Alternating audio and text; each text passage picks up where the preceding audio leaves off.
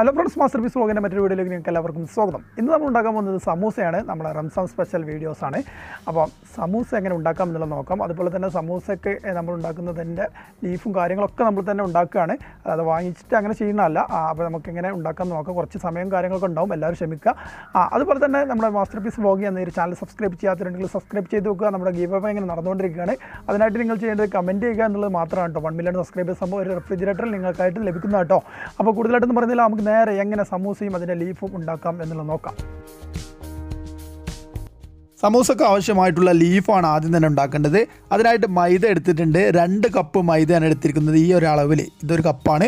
അതേ അളവിൽ രണ്ട് കപ്പ് മൈദ എടുത്തിട്ടുണ്ട്. പിന്നെ നമുക്ക് ആവശ്യമുള്ളത് സൺഫ്ലവർ ഓയിലാണ് ഒരു ടേബിൾ സ്പൂൺ സൺഫ്ലവർ ഓയിൽ നമ്മൾ അതിലേക്ക് ഒഴിച്ചു കൊടുത്തു. സാധാരണ ഓയിലായാലും കുഴപ്പമില്ല. ഓക്കെ അത് കറക്റ്റായിട്ട് ഒഴിച്ചു കൊടുത്തതിന് ശേഷം നന്നായിട്ടൊന്ന് മിക്സ് ചെയ്യാം. ഇനി നമുക്കതിലേക്ക് ഉപ്പ് ചേർത്ത് കൊടുക്കാം. അതിനായിട്ട് കാൽ ടീസ്പൂൺ ഉപ്പ് മാത്രമേ നമ്മൾ ചേർക്കുന്നുള്ളൂ. ഇനി നന്നായിട്ടൊന്ന് മിക്സ് ചെയ്യുക. അതിനുശേഷം വെള്ളം ഉപയോഗിച്ചുകൊണ്ട് കുഴച്ചെടുക്കാം. വെള്ളം കുറച്ച് കുറച്ചായിട്ട് ഉപയോഗിച്ച് കൊടുക്കുക. അതിനുശേഷം നമുക്ക് കുഴച്ചെടുക്കാം. വെള്ളം അധികമായി പോകരുത്. നമുക്കിത് പരത്തി എടുക്കാനുള്ളതാണ് ആ രീതിയിൽ കുറച്ച് കുറച്ചായിട്ട് ചേർത്ത് കൊടുക്കുക. അധികമായി പോവുകയാണെങ്കിൽ കുറച്ച് മൈദപ്പൊടി കൂട്ടി കൊടുത്താൽ മതി. നന്നായിട്ട് കുഴച്ചെടുത്തിട്ടുണ്ട്. ഇനി നമുക്കിതൊന്ന് പരത്തിയെടുക്കാം. അതിനായിട്ട് കുറച്ച് സ്പേസ് വേണം കേട്ടോ. അതുകൊണ്ട് തന്നെ ഞാനിവിടെ ഗ്ലാസ്സുമ്മലാണ് ചെയ്യാൻ പോകുന്നത്. ടേബിൾ ഗ്ലാസ് നന്നായിട്ട് ക്ലീൻ ചെയ്തതിന് ശേഷം അവിടെ തുടച്ചതിന് ശേഷം നമ്മൾ എന്ത് ചെയ്തു? പൊടി ഇട്ട് കൊടുത്തു. അവിടെയാണ് പരത്താൻ പോകുന്നത്. ഇനി ഇതിൽ നിന്നും ബോളുകളാക്കി മാറ്റണം. ചെറിയ ബോളുകളാക്കുക. നമ്മൾ പത്തിരിക്കൊക്കെ പരത്തുന്നതിന് പോലെ പത്തിരിക്കൊക്കെ ബോൾ ഉണ്ടാക്കുന്നത് പോലെ ചെറിയ ചെറിയ ബോളുകളാക്കിയിട്ട് ഇതെല്ലാം മാറ്റിയെടുക്കാം.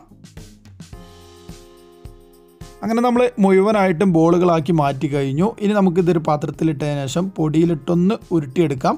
ഓക്കെ നേരത്തെ എടുത്ത മൈദപ്പൊടിയിൽ ഇട്ട് ജസ്റ്റ് ഒന്ന് ഉരുട്ടിയെടുത്തിട്ടുണ്ട്. ഇനി നമുക്കിതൊന്ന് പരത്തിയെടുക്കണം. കൈകൊണ്ട് തന്നെ ഒന്ന് ജസ്റ്റ് ഒന്ന് പരത്തിയെടുക്കുക.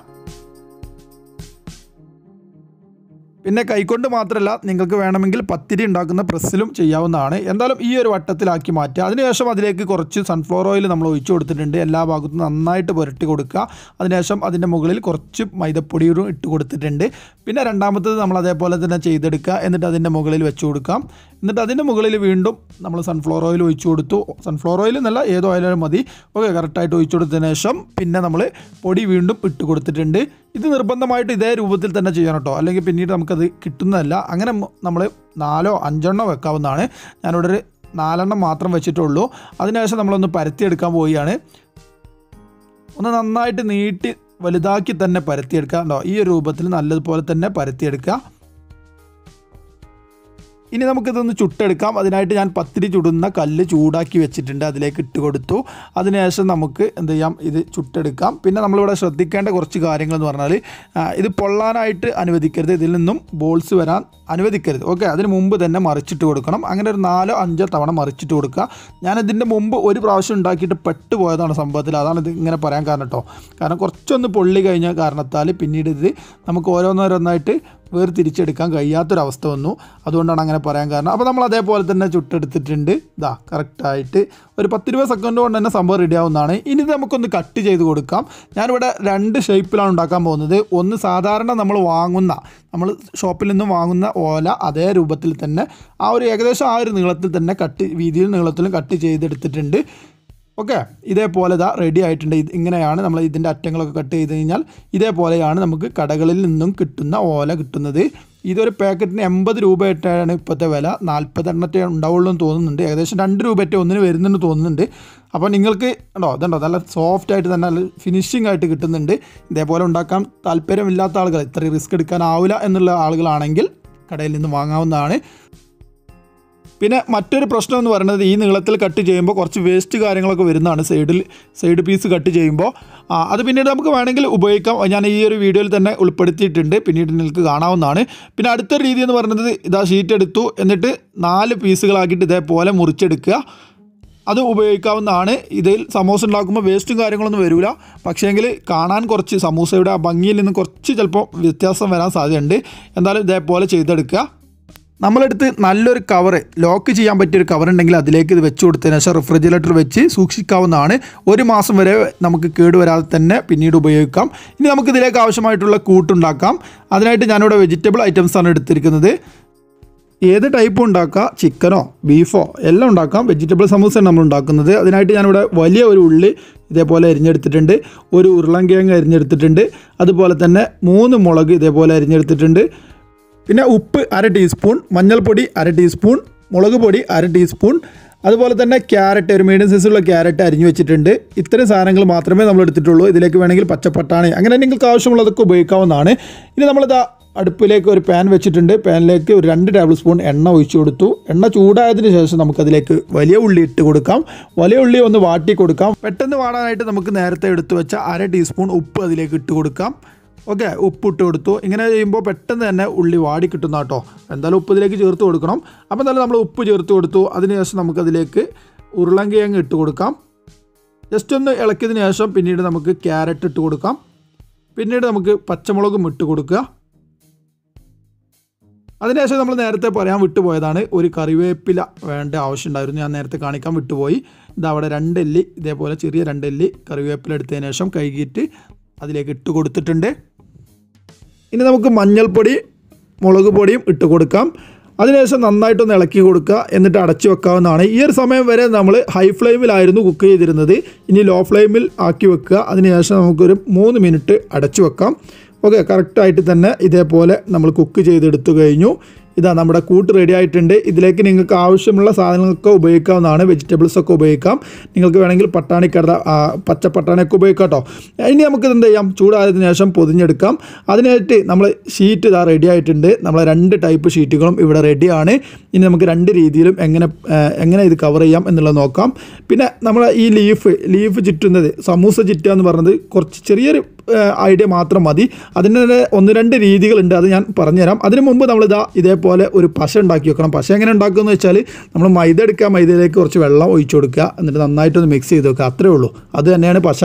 ഓക്കെ അതേപോലെ നമ്മൾ ചെയ്തെടുത്തു കഴിഞ്ഞു. ഇനി ഇതാ നമ്മൾ ലീഫ് ചുറ്റാൻ പോവുകയാണ്. നമുക്ക് ആദ്യം തന്നെ ഈ നീളത്തിൽ കട്ട് ചെയ്തിരിക്കുന്ന ലീഫ് ഉപയോഗിച്ചുകൊണ്ട് എങ്ങനെ രണ്ട് രൂപത്തിൽ ചുറ്റാൻ നോക്കാം.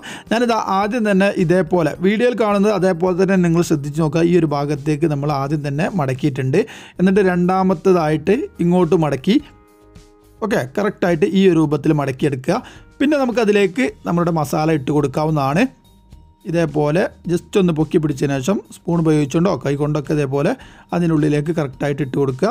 ഞാൻ ഇതിലേക്ക് ഫുള്ളായിട്ട് നിറക്കുന്നില്ല കേട്ടോ ഈ ഒരു രൂപത്തിൽ കുറച്ച് മാത്രമേ ചെയ്യുന്നുള്ളൂ. അതിനുശേഷം ഇങ്ങോട്ടൊരു മടക്കലും മടക്കി കഴിഞ്ഞാൽ നമ്മുടെ സംഭവം റെഡിയായി കഴിഞ്ഞു. ഇനി നമ്മൾ നേരത്തെ ഉണ്ടാക്കി വെച്ച പശ ഉപയോഗിച്ചുകൊണ്ട് പശ എന്ന് പറഞ്ഞാൽ മൈദയുടെ ഈ ഒരു മിക്സിങ് ഉപയോഗിച്ചുകൊണ്ട് ഇവിടെ എല്ലാം തേച്ച് കൊടുക്കുക. ഓക്കെ നന്നായിട്ട് തേച്ചതിന് ശേഷം നമുക്ക് ഒട്ടിച്ച് കൊടുക്കാവുന്നതാണ്. ഇങ്ങോട്ട് ഫോൾഡ് ചെയ്യുക പിന്നെ നമുക്ക് ഒട്ടിച്ചെടുക്കാം. ഓക്കെ ഇത്രയേ ഉള്ളൂ. വളരെ സിമ്പിളായിട്ട് തന്നെ നമുക്ക് സമൂസ മടക്കിയെടുക്കാവുന്നതാണ്. ഇനി രണ്ടാമത്തെ രീതിയാണ് പറയാൻ പോകുന്നത് കേട്ടോ ഇത് വളരെ കറക്റ്റായിട്ട് തന്നെ ചെയ്തിട്ടുണ്ട്. രണ്ടാമത്തതും നീളത്തിൽ കട്ട് ചെയ്തിരിക്കുന്ന ഈ ലീഫ് ഉപയോഗിച്ചുകൊണ്ട് തന്നെ നമ്മൾ ചെയ്യാൻ പോകുന്നത്. അത് കറക്റ്റായിട്ട് ഈ ഒരു ഭാഗത്തേക്ക് മടക്കി വെക്കുക. ഫസ്റ്റായിട്ട് ഇനി രണ്ടാമതായി ഇതേപോലെ ഒന്ന് മടക്കിയെടുക്കുക. അതിനുശേഷം നമ്മൾ രണ്ട് കൈ കൊണ്ടും ഇതേപോലെ പിടിച്ചതിന് ശേഷം ഈ ഒരു ഭാഗത്തേക്ക് ഇങ്ങനെ കറക്റ്റായിട്ട് ഇങ്ങോട്ട് ചുറ്റി കൊണ്ടുവന്നു കഴിഞ്ഞാൽ കറക്റ്റായിട്ട് നമ്മളെ സമോസയുടെ ഈ ഒരു അടിഭാഗം റെഡിയായി കഴിഞ്ഞു. ഇനി നമ്മളെ കയ്യിൽ ഇതെടുക്കുക ഒട്ടിക്കണ ലാസ്റ്റാണ് ഓക്കെ ഇതേപോലെ കയ്യിലെടുത്തതിന് ശേഷം ഇതിലേക്ക് നമുക്ക് ഫില്ല് ചെയ്ത് കൊടുക്കാം. ഓക്കെ നമ്മൾ ഫില്ല് ചെയ്ത് കഴിഞ്ഞു. അതിനുശേഷം ഇതേപോലെ വീഡിയോയിൽ കാണുന്നത് പോലെ തന്നെ ഇങ്ങോട്ട് മടക്കിയെടുക്കാം.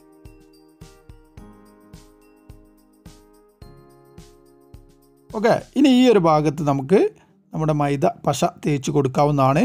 എന്നിട്ട് ഒട്ടിച്ചെടുക്കാം. നേരത്തെ ചെയ്ത പോലെ തന്നെ കറക്റ്റായിട്ട് ഒട്ടിച്ചെടുക്കുക. ഈ ഒരു സമയത്തൊക്കെ നമ്മൾ ശ്രദ്ധിക്കേണ്ടതിന്റെ ഈ ഒരു അറ്റങ്ങളിലെല്ലാം ഹോളുകൾ ഇല്ലാതിരിക്കണം. ഹോളുകൾ ഉണ്ടായിക്കഴിഞ്ഞാൽ അതിലേക്ക് എണ്ണ കയറി എണ്ണ കുടിക്കുന്നതാണ്. അപ്പോൾ കറക്റ്റായിട്ട് തന്നെ നിങ്ങൾ ശ്രദ്ധിച്ച് ചെയ്യുക. ഇനി നമുക്ക് രണ്ടാമത്തെ നമ്മൾ നേരത്തെ ഉണ്ടാക്കിയ വേസ്റ്റ് ഇല്ലാത്ത രീതിയിൽ ഉണ്ടാക്കുന്ന ആ കഷ്ണങ്ങൾ വെച്ചിട്ട് എങ്ങനെ ഉണ്ടാക്കാം എന്നുള്ളത് നോക്കാം.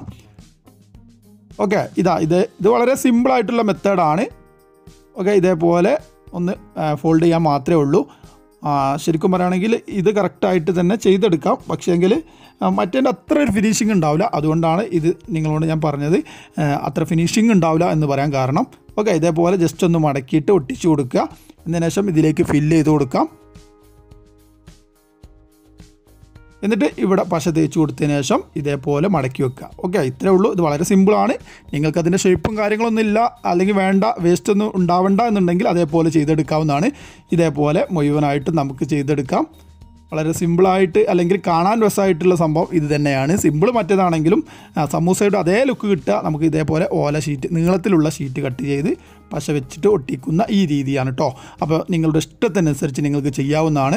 അങ്ങനെ നമ്മളിത് മുഴുവനായിട്ടും ചെയ്തെടുത്തു. ഞാൻ വളരെ കുറച്ച് മാത്രമേ ഉണ്ടാക്കുന്നുള്ളൂ. ബാക്കിയുള്ളത് ബാലൻസ് റെഫ്രിജറേറ്റർ വെക്കാൻ പോവുകയാണ്. കാരണം നോമ്പായ കാരണത്താൽ കൂടുതൽ കഴിക്കാൻ കഴിയില്ല ഇനി നമുക്കിതെല്ലാം ഒന്ന് ചുട്ടെടുക്കാം. അതിനായിട്ട് ഞാനിവിടെ ഒരു പാനിൽ എണ്ണ ഒഴിച്ചു കൊടുത്തിട്ടുണ്ട്. സൺഫ്ലവർ ഓയിലാണ് ഒഴിച്ചു കൊടുത്തിരിക്കുന്നത്. നിങ്ങൾക്ക് ഇഷ്ടമുള്ള എണ്ണ എടുക്കാം. പിന്നെ ഇവിടെ ശ്രദ്ധിക്കേണ്ടത് നല്ലതുപോലെ തന്നെ ചൂടായതിന് ശേഷം മാത്രം ഇട്ട് കൊടുക്കുക. കാരണം ഇതിന്റെ ഉള്ളിലുള്ള ഭാഗം നമ്മൾ നേരത്തെ വേവിച്ചതാണ്. ഇതിന്റെ പുറം ഭാഗം മാത്രം ഒന്ന് വെന്ത് കിട്ടിയാൽ അന്ന് പൊരിഞ്ഞ് കിട്ടിയാൽ മതി. അപ്പോൾ അതുകൊണ്ട് തന്നെ നല്ല ചൂടുള്ള എണ്ണയിലേക്ക് ഇട്ട് കൊടുക്കുക.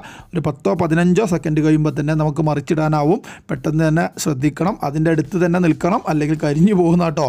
അപ്പോൾ കറക്റ്റായിട്ട് തന്നെ ഇതാ ഇതേപോലെ രണ്ട് ഭാഗവും നമ്മൾ ഇതേപോലെ പൊരിച്ചെടുത്തിട്ടുണ്ട്. നമ്മുടെ സമൂസ റെഡിയായി കഴിഞ്ഞു. ഇതേപോലെ ബാക്കിയുള്ളവ എല്ലാം അതേപോലെ തന്നെ ചെയ്തെടുക്കാം. പിന്നെ ഈ ഒരു വീഡിയോ കുറച്ച് ലെങ്തി ആയിരിക്കും. ഞാൻ കുറച്ച് അബദ്ധങ്ങളും കാര്യങ്ങളൊക്കെ നിങ്ങൾക്ക് പറഞ്ഞ് മനസ്സിലാക്കിയതുകൊണ്ടാണ് ഇത്ര സമയം വൈകാൻ കാരണം. പിന്നെ അതിന്റെ ഓലയുടെ ചുറ്റുന്ന രീതിയൊക്കെ കുറച്ചുകൂടും കൂടും കൂടുതലായിട്ട് പറഞ്ഞു തന്നതുകൊണ്ട് കേട്ടോ അപ്പോൾ എന്തായാലും ഇതാ നേരത്തെ നമ്മൾ ഉണ്ടാക്കിയപ്പോൾ വേസ്റ്റായി പോയ സംഭവം ഇതേപോലെ പൊരിച്ചെടുക്കാവുന്നതാണ്. ഇത് നല്ല ടേസ്റ്റോടെ കഴിക്കാനായിട്ട് ഇതേപോലെ ബാക്കിയുള്ളവ. നമുക്ക് ജസ്റ്റ് ഒന്ന് പൊരിച്ചെടുത്ത് മാറ്റാം. അപ്പോൾ നമ്മുടെ സമൂസ റെഡി ആയിക്കഴിഞ്ഞു. മുഴുവനായിട്ടും നമ്മൾ ചുട്ടെടുത്തിട്ടുണ്ട്.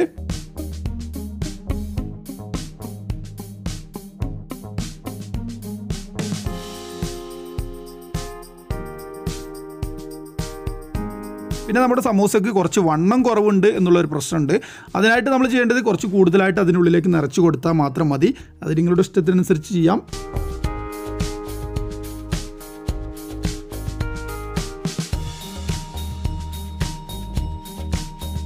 അപ്പോൾ കൈസ് നമ്മുടെ സമൂസ ഇതാ റെഡി ആയിട്ടുണ്ട്. നല്ല കിഡിലൻ സംഭവമാണ്. ഞാൻ വളരെ കുറച്ച് മാത്രമേ ഉണ്ടാക്കിയിട്ടുള്ളൂ. കാരണം നോമ്പിന്റെ സമയമാണ്. ആ, കാരണത്താൽ കൂടുതലായിട്ട് ഉണ്ടാക്കി കഴിഞ്ഞാൽ ഇവിടെ കഴിക്കാനായിട്ട് ആരും ഉണ്ടാവില്ല. അതുകൊണ്ട് നമ്മൾ ബാക്കിയുള്ള സാധനങ്ങളൊക്കെ ഉണ്ടല്ലോ. അപ്പോൾ ഒറ്റ സമയം മാത്രമാണല്ലോ ഭക്ഷണം കഴിക്കുള്ളൂ. പിന്നെ രാവിലെ രാവിലെ ഇപ്പോൾ ഇതൊന്നും കഴിക്കില്ല അപ്പോൾ എന്തായാലും സംഭവം കിഡിലൻ സംഭവമാണ്. നിങ്ങൾക്ക് എല്ലാവർക്കും ഉണ്ടാക്കി നോക്കാൻ പറ്റിയ സംഭവം തന്നെയാണ്. സമൂസേന്റെ ഷീറ്റ് ഇപ്പോൾ വാങ്ങാൻ കിട്ടില്ല കാരണം ഷോപ്പുകളൊക്കെ അടച്ചിരിക്കുകയാണ്. അതുപോലെ തന്നെ ഉണ്ടെങ്കിലും അത്യാവശ്യ ഘട്ടങ്ങളിൽ മാത്രമാണല്ലോ പുറത്തിറങ്ങാൻ പറ്റുള്ളൂ. അതുകൊണ്ട് നിങ്ങൾക്കൊക്കെ എല്ലാവർക്കും വീട്ടിൽ ഉണ്ടാക്കാൻ പറ്റിയ സംഭവമാണ്. മൈദ ഉണ്ടെങ്കിൽ ഉണ്ടാക്കി നോക്കാം. അപ്പോൾ ഇന്നത്തെ വീഡിയോ കുറിച്ചുള്ള അഭിപ്രായം കമന്റിലായിട്ട് അറിയിക്കുക ഞങ്ങളുടെ മാസ്റ്റർ പീസ് വ്ലോഗ് എന്നൊരു ചാനൽ സബ്സ്ക്രൈബ് ചെയ്യാത്തതുണ്ടെങ്കിൽ സബ്സ്ക്രൈബ് ചെയ്യുക. അതുപോലെ തന്നെ ഇനിയും മറ്റു വീഡിയോകളൊക്കെ എന്താണ് വേണ്ടതെന്നുള്ള കമന്റിലായിട്ട് കമന്റ് അറിയിക്കുക. അപ്പോൾ കൂടുതലായിട്ട് പറയുന്നത് നല്ലൊരു കിഡിലം വീഡിയോ ആയിട്ട് വീണ്ടും കാണാം.